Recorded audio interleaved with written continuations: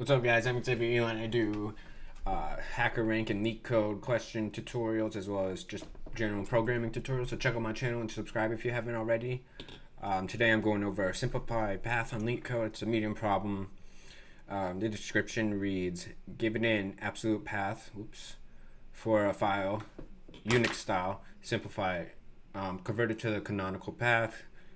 Period refers to the current directory. I'm sure you guys know how the Unix style file system works um, double period is going back directory or up a directory. Um, it, it should not end with a trailing slash, and it must be the shortest string rep representing the absolute path. So they want us to get rid of, um, so get rid of extra slashes, the periods. Um, we have to, if we have dots, we have to remove some of the directories accordingly. So right away, this should read um, hint to you that we need to use a stack. So stacks last in first out. I'm sure you guys have used it. Um, the last thing that you put into the stack is the first thing that goes out of the stack. You pop it off. So, for example, spam.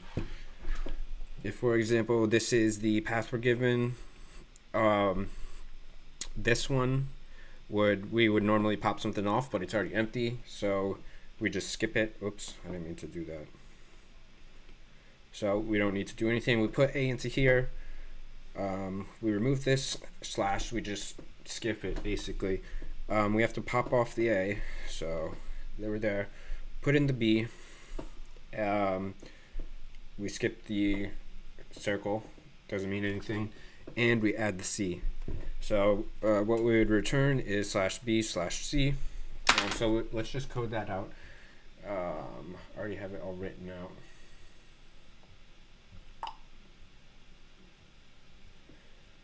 Okay, so first things first. Uh, let's create the stack string. Um, stack equals new stack. Sorry, I had a brain freeze. And then let's create the array. So um, what I'm doing here is we're going to use the split function, which is a function for strings in JavaScript and we're going to split the string that it's um, is path by the slashes. So we basically remove the slashes and create a list out of it, or an array, sorry. So um, if it was slash A slash B, it would return A comma B. So That's that. And for string, so let's loop through, we're gonna loop through the vowels. Um, so if, first thing we wanna check is if we, logically, the first thing I would check for is if it's um, periods, we're just gonna pop it. So um, if val dot equals Um, so stack dot pop. So this actually would not work because it's possible that the stack could be empty. So let's check for that as well. Stack dot. Let's make sure it's not empty. So that will work. And the other thing is um, just so push. Um, that's the only other option. I guess the other option is to do nothing, but we don't really need to code that because that'll be encoded in here basically. So stack, that push val. And so the scenarios for this is the, oh, damn, the only scenario where we're going to push is if it's not a period, it's not empty, val that is, and uh, it's not a single single period. So let's code that out.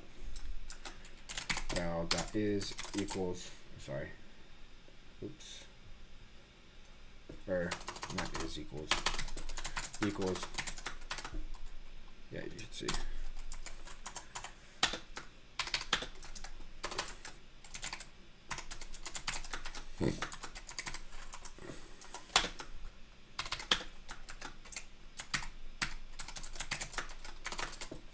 So just empty.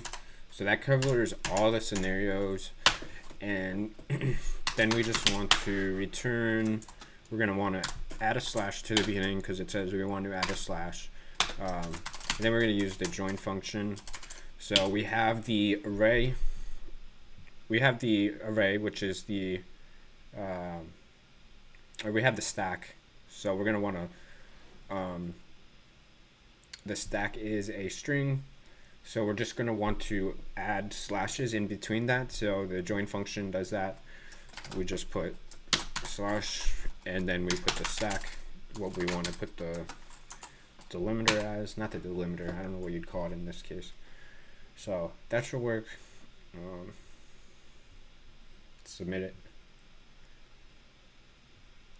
And using JavaScript too much lately. All right, perfect. So the, it works. Um, uh, it's O of n runtime because we have to loop through the stack. And I believe it's just O of n, yeah, space complexity because we had to create a stack. So there you have it. Thanks for watching, guys.